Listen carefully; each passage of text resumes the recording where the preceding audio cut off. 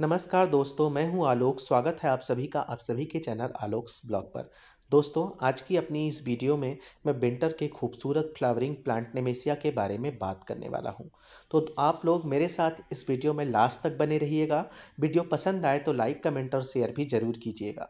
साथ ही साथ वो दोस्त जो मेरी वीडियो को पहली बार देख रहे हैं, मेरे चैनल पर पहली बार आए हैं तो मेरे चैनल को सब्सक्राइब करके बेल आइकन को ज़रूर दबा लीजिए, जिससे मेरे आने वाली वीडियोज़ की नोटिफिकेशन आपको मिलती रहे। दोस्तों, अगर बात करें इस टाइम पे मेरे गार्डन में निमेसिया की फ्लावरिंग की तो आप लोग तो देख ही रहे होंगे किस तरीके से इस समय मेरे गार्डन में जो निमेसिया के फ्लावर्स हैं, वो फुल ब्लूमिंग पर हैं। ऐसा लगता है इनको देखने के बाद जैसे किसी ने जो है वो ज़मीन पर रंग बिखेर दिया हो और वो कलर्स जो हैं आपकी आँखों को ऐसे बाँध लेंगे कि आप जो है इनको देखने से एक टक देखते ही रह जाएँगे। दोस्तों निमेशिया की अगर बात की जाए तो ये बहुत इजी टू ग्रोइंग प्लांट है। अगर आप गार्डनिंग में बिगनर हैं तो आप विंटर में विंटर फ्लावरिंग प्लांट्स में आप इस प्लांट को अपने गार्डन में ज़रूर शामिल कीजिए। दोस्तों, इसको, इस प्लांट को सीड से बहुत आसानी से ग्रो किया जा सकता है।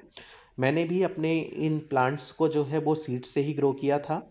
मैंने कुछ ऑनलाइन सीड्स मंगाए थे और उन ऑनलाइन सीड्स से जो है मैंने इस इन प्लांट्स को जो है वो ग्रो किया था। काफ़ी ज़्यादा नंबर्स में मेरे पास ये प्लांट्स ग्रो हो गए थे, इसलिए मैंने मैक्सिमम प्लांट्स को जो है वो ग्राउंड पर लगाया। लगभग सात से आठ इंच की डिफरेंस पर जो है मैंने इन प्लांट को लगाया हुआ था डिस्टेंस पर। और जो है, लेकिन अब देखने पर ऐसा लगता है कि जैसे इनको एक ही साथ लगा दिया था मैंने बिल्कुल नज़दीक नज़दीक, लेकिन दोस्तों ऐसा बिल्कुल नहीं है। मैंने अपने इन प्लांट्स को सात से आठ इंच के डिफरेंस पर लगाया था, लेकिन जब इनकी ग्रोथ हुई तो इनमें नीचे से इतनी ज़्यादा ब्रांचेस निकल के आई कि ये आपस में बिल्कुल ऐसे मिल गए कि ऐसा लगता है कि जैसे एक ही प्लांट्स में अलग अलग तरह के फ्लावर आए हुए हों। लेकिन ऐसा बिल्कुल नहीं है। मैंने अलग अलग प्लांट्स जो है वो सात से आठ इंच के डिस्टेंस पर लगाए थे। इनकी ग्रोथ बहुत अच्छी हुई और ग्रोथ अच्छी होने के बाद ये आपस में बिल्कुल मिल से गए।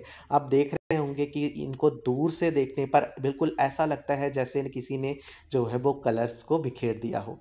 दोस्तों, आपके निमेसिया के जो प्लांट होते हैं, ये ग्राउंड कवर के लिए बहुत ही अच्छे होते हैं। मैंने इनको ग्राउंड पर, पॉट में और साथ ही साथ कुछ टोकरी वगैरह में, जहाँ कहीं भी मुझे मिल, जगह मिली, मैंने वहाँ पर इनको लगा दिए और लगा दिया और उसके बाद इनमें ग्रोथ बहुत ही अच्छी हुई और इस टाइम पर जो फ्लावरिंग हो रही है, मेरा ये विंटर का सबसे फेवरेट प्लांट बन चुका है और मुझे ये बहुत प्यारा लगता है। दोस्तों अब बात करते हैं निमेसिया प्लांट को ग्रो कैसे किया जाए। दोस्तों आ, मैंने आपको बताया कि मैंने अपने इन प्लांट्स को जो है वो सीड से ही ग्रो किया था। आप इनको सितंबर से अक्टूबर में अगर आप इन इनके सीड्स को लाकर अगर आप ग्रो कर लेते हैं उसके बाद जो है आप नवंबर में इनकी रिपोर्टिंग कर दीजिए। रिपोर्टिंग करते समय अगर आप इनको ग्राउंड पर लगाना चाहते हैं तो फिर तो जो है आपको इनमें सिर्फ़ जो है वो काउडंग कंपोस्ट या फिर वर्मी कंपोस्ट देकर लगा देना चाहिए।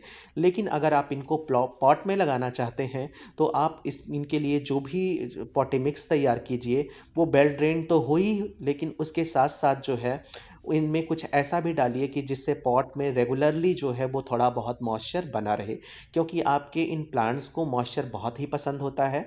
जैसे ही पॉट का मॉइस्चर ख़त्म होने लगता है, इनकी पत्तियाँ बिल्कुल सूख के लटक सी जाती हैं। ऐसा लगता है कि अब प्लांट्स आपका बिल्कुल मरने ही वाला है। इसके लिए जब भी आप पॉटी मिक्स तैयार कीजिए तो आप thirty percent river sand, thirty percent normal garden soil thirty percent vermi compost या काउ डंग कंपोस्ट के साथ। आप उसमें टेन परसेंट जो है कोकोपीट ज़रूर मिक्स कीजिए, जिससे जो है आपके प्लांट्स में जो है प्लांटर में जो है, वो नमी रेगुलरली बनी रहे और आपका ये प्लांट जो है वो ख़राब ना हो। दोस्तों, अगर बात की जाए सनलाइट की तो आपके इस प्लांट को सनलाइट बहुत ही पसंद होती है। आप इनको अपने गार्डन के उसी हिस्से में लगाइए जहाँ पर इनको रेगुलरली सनलाइट मिलती रहे। क्योंकि अगर वैसे तो अगर तीन से चार घंटे की सनलाइट भी इनको मिलती है, तब भी इनकी फ्लावरिंग अच्छी होती है। मैं भी आपको दिखाऊँगा किस तरीके से मैंने कोलियस के पॉट में कोलियस के साथ इनको जो है पॉट में लगाया हुआ है। और मैंने अपने उस पॉट को जो है वो अपने गार्डन के उस हिस्से में रखा है जहाँ पर मैक्सिमम चार से पाँच घंटे की सनलाइट आती है। तो दोस्तों, चार से पाँच घंटे की सनलाइट में भी ये फ्लावरिंग करेंगे। हालाँकि अगर आपको ज़्यादा नंबर्स में फ्लावर्स चाहिए, ज़्यादा ग्रोथ चाहिए तो आपको इनको रेगुलर सनलाइट एरिया में ही लगाइए। दोस्तों, अब बात कर लेते हैं वाटरिंग की। दोस्तों, आपके इस प्लांट को जो है वाटरिंग बहुत पसंद है। इनको मॉइस्चर बहुत ही अच्छा लगता है। तो आप इनमें जो है रेगुलरली जो है ये देखते रहिए कि कि आपके पॉट का मॉइस्चर जो है वो बिल्कुल ख़त्म ना होने पाए। आप देख रहे होंगे कि किस तरीके से जो है ये बिल्कुल देखने में इनके फ्लावर्स डॉग फ्लावर्स के जैसे या फिर तितलियों के जैसे लग रहे हैं। और मेरे कुछ प्लांट्स में जो है वो सीड भी बनने लगे हैं और मैंने इनके सीड को जो है एक पॉलीथीन में जो है वो इकट्ठा करना शुरू कर दिया है। और जैसे जैसे सीट बनते रहेंगे, मैं इनको निकालता जाऊँगा। आपको अगर इनकी सीट को कलेक्ट करना है तो आपको बहुत ध्यान से जो है सीट को कलेक्ट करना होगा। क्योंकि दोस्तों, होता क्या है कि इनके जो सीट पॉट होते हैं, वो कुछ टाइम के बाद खुद ही खिलना खुलना शुरू हो जाते हैं और सीड्स जो हैं, वो निकल कर बिखर जाएँगे। आप देख रहे होंगे, इनके सीड्स कितने ज़्यादा बारीक बारीक हैं। इस वजह से इनके कलेक्शन में भी आपको ध्यान रखना पड़ेगा। ये आप देख रहे होंगे कि किस तरीके से मैंने सब्जियों की टोकरियों में भी इनको लगा दिया है। और वहाँ पर भी इनमें बहुत ही अच्छी ग्रोथ देखने को मिल रही है। और ये रेड कलर और वाइट कलर का जो ये कॉम्बिनेशन है, ये तो मुझे बहुत ही ज़्यादा खूबसूरत लगता है, बहुत ही अच्छा लगता है। दोस्तों, ये वो नेमेशिया के प्लांट्स हैं, जिनको मैंने कोलियस के पॉट में जो है वो लगा दिया था। मैंने किनारे थोड़ी सी ऐसे उंगली से मिट्टी को हटाकर और इनके एक एक प्लांट को जो है वो लगाया था और आप इस टाइम पर देख रहे होंगे कि कोलियस की भी ग्रोथ अच्छी हो रही है और उनके साथ साथ निवेशिया के ये प्लांट्स भी जो है कितने ज़्यादा खूबसूरत फ्लावरिंग कर रहे हैं, कर रहे हैं। और दोस्तों, होता है क्या कि ये मेरे गार्डन का वो हिस्सा है जहाँ पर इनको मैक्सिमम से पाँच, चार से पाँच घंटे की ही सनलाइट मिल पाती है, उसके बाद सनलाइट नहीं मिलती।